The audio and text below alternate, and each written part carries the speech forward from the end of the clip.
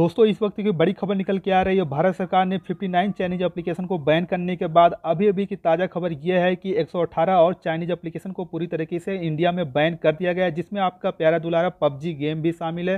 तो ये लिस्ट मैं आपको दिखा रहा हूँ, साथ ही ये सर्कुलर भी आपको दिखा रहा हूँ, जो कि भारत सरकार ने अभी भी जारी किया है एएनआई के हवाले से।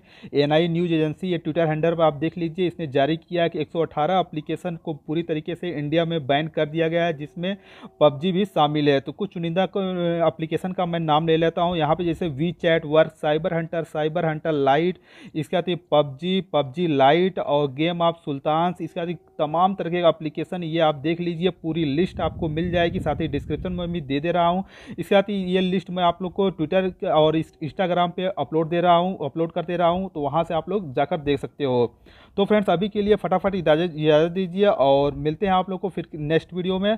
और अगर आप लोग को ये सारी लिस्ट देखना है तो आप लोग प्लीज़ मेरे इंस्टाग्राम और ट्विटर पर फॉलो कर लीजिए। मैं वहाँ पर आप लोग को मैसेज कर दूँगा।